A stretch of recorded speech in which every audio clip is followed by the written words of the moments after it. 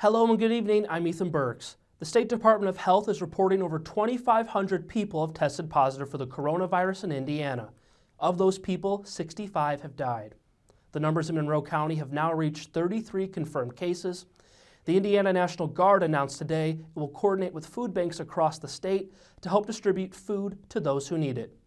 Indiana officials say the state's capacity to test people for the coronavirus is increasing, even though the lab results have slowed over the past few days.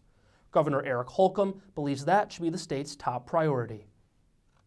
Every time I talk to anyone, I say we need more. Pour it on.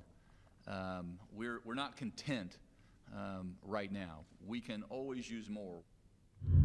Health officials say the growth in testing has slowed because the state can't control how quickly outside labs report their numbers.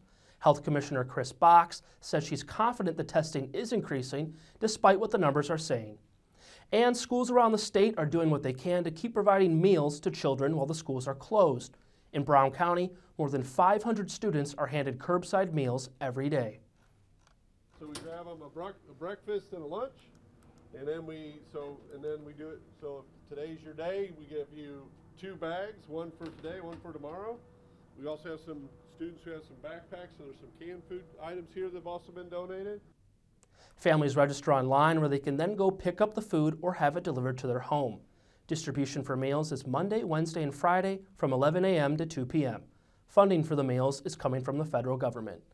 And for weather tonight, we're looking at partly cloudy skies with a low of 36 degrees before the sun comes out tomorrow and it's 63. Sunny again Friday before more chance of weekend showers once again. For more local news and information, please visit WTIUnews.org.